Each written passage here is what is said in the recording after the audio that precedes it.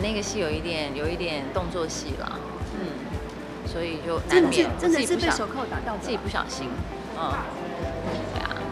所以是淤青，没有外伤。有啊也有一点外伤。三天，大家就是很痛，其实没有想太多。小朋友有，对，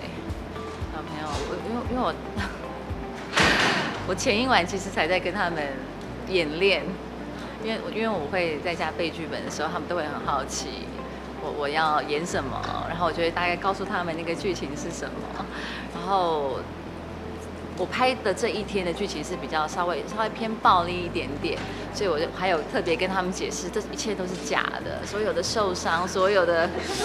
全部都是假，绝对不会是真的。然后我还跟他们演那种，等一下妈妈打你，你就啊啊，那个就是妈妈明天要演的，就是我可能被打到，我会啊啊，但都都假的，不会是真的。就我就真的带上回去结果，是真的。回去怎么跟他们解释？就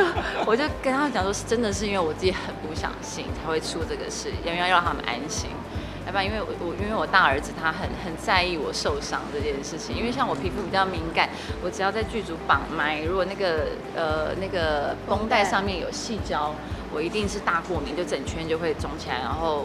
那个色素会留很久这样。然后我大儿子他每天我只要拍戏回家就会检查我的身体，就检查我的腿跟腰，哦，他会看我有没有留任何的这个痕迹，因为他对，但是因为他这次真的比较比较辛苦，比较紧张对，就是他必须拍摄的时间比较长，所以比较少有事情，但有时间就会。对，但他们其实很习惯，就是比如说我在忙的时候，就是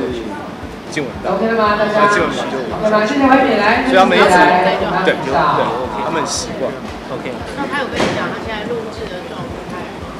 其实我觉得他蛮蛮好的，因为毕竟这么多人一起，所以其实我觉得那个